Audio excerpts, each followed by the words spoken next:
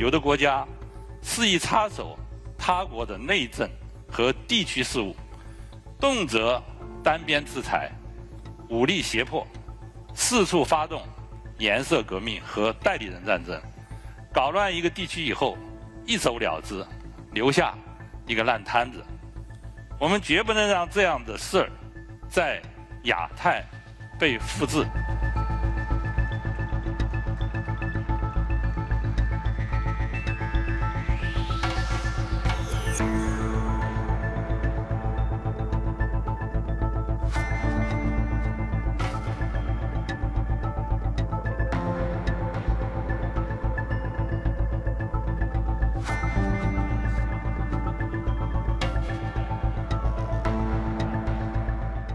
方一直寻求以美建立新型的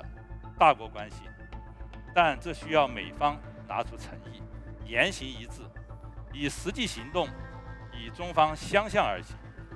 推动两国两军关系止跌企稳，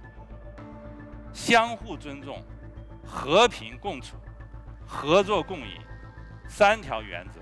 才是中美两国。正确的相处之道。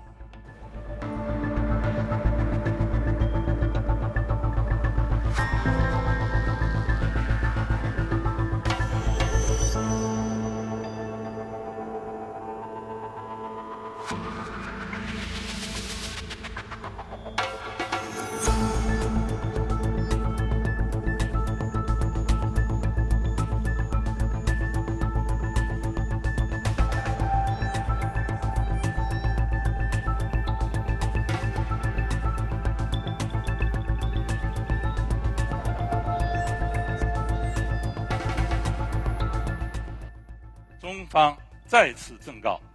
台独分裂活动越猖獗，受到的反制就会越坚决，一切外部干涉势力都将以失败而告终。